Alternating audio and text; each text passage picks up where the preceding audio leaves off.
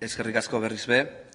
Señor Damborenea, lo que nos molesta es su partido sumido en la corrupción. Lo que nos molesta, señor Damborenea, es el primer partido imputado en la historia de la democracia.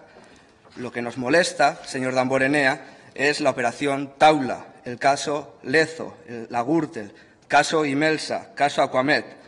Lo que nos molesta, señor Damborenea, es un partido que cuenta con más de 800, 850 miembros imputados. Lo que nos molesta, señor Damborenea, es un partido cuyo presidente, el señor Rajoy, fue llamado a declarar ante los tribunales. Y dicen ustedes que el pacto entre el PP y el PNV beneficia a Euskadi.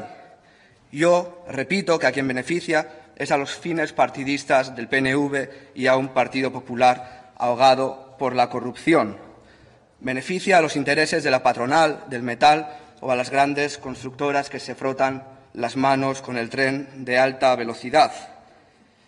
Dicen también que es un buen acuerdo para Euskadi y desde nuestro grupo parlamentario decimos que este acuerdo lo único que hace es apoyar y validar al Partido Popular de los recortes y las reformas laborales que impulsan los despidos y las reducciones salariales.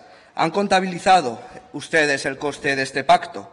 En cinco años, las rentas del trabajo han perdido 5,1 puntos, 992,8 millones de euros exactamente. Se consolidan lo que en el ámbito económico se denomina como trabajos basuras.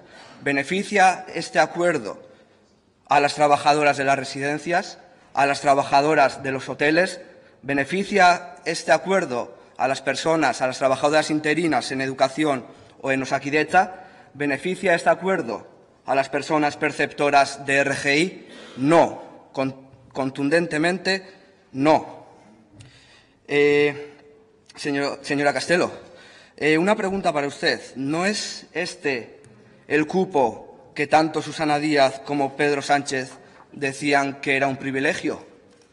¿No es este el mismo cuponazo del que hablaba su partido hace apenas poco más de un año? Este tipo de declaraciones aparecen y desaparecen como el Guadiana en boca de sus varones. Aclárense primero antes de intentar dar lecciones a nadie. Y, señora Gorospe, habilidad política toda, oportunismo, falta de escrúpulos y mercadeo de intereses también.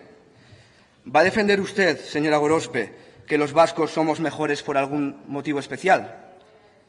¿Que el resto de la ciudadanía del Estado merecen sufrir unos presupuestos antisociales del Partido Popular para que se haga negocio en nombre de los vascos y de las vascas? ciudadanos de primera y ciudadanos de segunda. Ningún complejo en defender a toda la ciudadanía y un Estado plurinacional en el que la justicia social sea para todas las personas.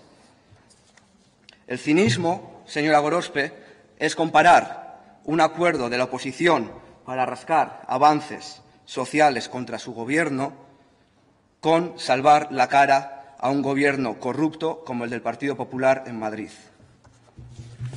Es que ricasco.